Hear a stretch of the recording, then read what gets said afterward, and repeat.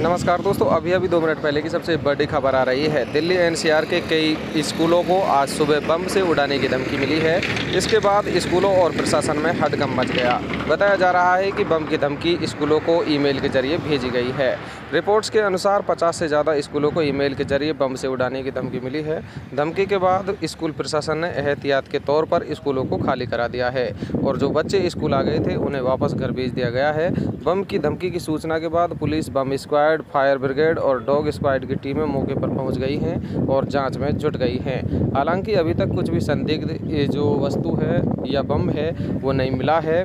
बताया जा रहा है कि जो शहर के नामी स्कूल हैं, उनको बम से उड़ाने की धमकी दी गई है। इन स्कूलों में हज़ारों की संख्या में छात्र और छात्राएँ पढ़ते हैं। जिन स्कूलों को धमकी मिली है, उनमें DPS Dwarka, DPS Vasant Kunj, DPS Noida, DPS Rohini, Green Valley, Najafgarh, D DAV Pitampura, Mother Mary school, Mayur Vihar Sanskriti school, DAV south west और एमिटी साके जैसे स्कूल शामिल हैं। यहाँ पर दोस्तों बता दें कि जो मेल आई थी ईमेल के ज़रिए, उस मेल को ट्रैक करने में जो साइबर सेल की टीमें हैं, वो जिटी हुई हैं और बम की धमकी का ईमेल मिलने के बाद एहतियातन के तौर पर स्कूलों को खाली करवा दिया है और बच्चे स्कूल आ गए थे, उन्हें वापस घर भेज दिया गया है। डीपीएस नोएडा की प्रिंसिपल कामिनी ने बताया कि आज सुबह उनको ईमेल मिला। प्रिंसिपल का कहना है कि वो रिस्क नहीं ले सकते थे।